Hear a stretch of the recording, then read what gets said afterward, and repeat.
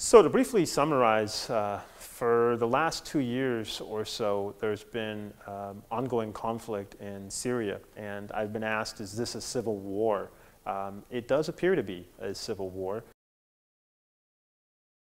You basically have the uh, forces of the current president of Syria, Bashar al-Assad, uh, fighting uh, alongside uh, Hezbollah, which is the Islamic Shiite movement from South Lebanon, and uh, some uh, members of the Iranian elite forces and revolutionary guards fighting against the Free Syrian Army, which is uh, a group of um, sort of uh, largely Sunni fighters, um, many of whom are Syrian, uh, some uh, are Libyan and other uh, foreign Sunni Muslim fighters um, who are financed by Saudi Arabia, Qatar, and the UAE largely, sort of in a clandestine fashion, often up against the forces of uh, Bashar al-Assad and, um, and Iran, the Iranian forces there, and, and, Hezbollah. This has been a very bloody war. According to the United Nations, there's been uh, well over 70,000 deaths so far in uh, Syria today, and the number continues to grow at an alarming rate as the world stands by and watch, watches all of this horrible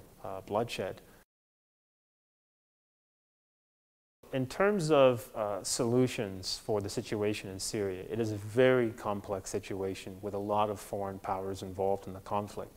Unfortunately, I don't see, at least in the short term, any sort of diplomatic solution to the conflict, which would be my preference, uh, because President Assad uh, simply refuses to negotiate. The most workable uh, long-term solution to the conflict in Syria would be to have Turkish involvement in Syria.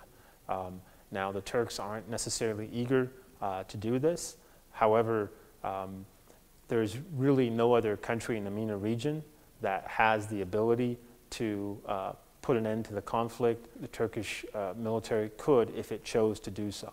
We have seen some very strong statements from the Turkish Prime Minister Erdogan uh, in support of the Free Syrian Army. Um, his country houses many of the Free Syrian Army members, trains them, um, there have been some brief little border skirmishes, um, but if that ever heats up, now certainly Iran and Hezbollah will fight to the end because this is a matter of, uh, of, of, national interest for Iran. It's a matter of survival for Hezbollah. It's sort of turned into, uh, unfortunately, a very sectarian conflict, sort of between Shiites and Sunnis um, in many ways. The Russian uh, leadership, including President Putin, have uh, consistently been opposed to uh, foreign intervention, particularly U.S. intervention in Syria. And so that complicates the situation. In addition, on the other side, uh, the Kingdom of Saudi Arabia um, and some of the other Gulf countries, Qatar and others, have uh, been uh, funding, training, and arming the members of the Free Syrian Army and some of the groups fighting against Bashar's forces. This is really, truly an international conflict.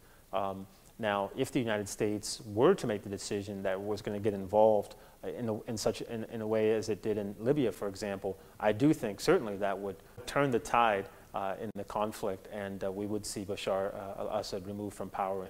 Uh, but I don't uh, see right now that President Obama and the American people in general are eager to get involved in Syria. It's a very complicated situation. it's a civil war type of situation, um, and um, they're obviously concerned about uh, loss of lives. In addition, um, there are not necessarily um, the same sort of uh, interests, economic and otherwise, in Syria as there might have been in, say, Libya or Iraq or elsewhere.